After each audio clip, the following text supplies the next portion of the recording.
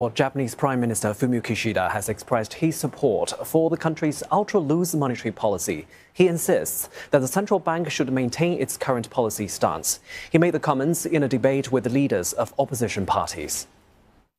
金融政策については、えー、為替にも影響を与えるものではありますが、まあ、一方で中小企業、零細企業の金利等にも影響を与える、景気にも与えるものであり、これは総合的に金融政策は判断しなければならないものであると考えています。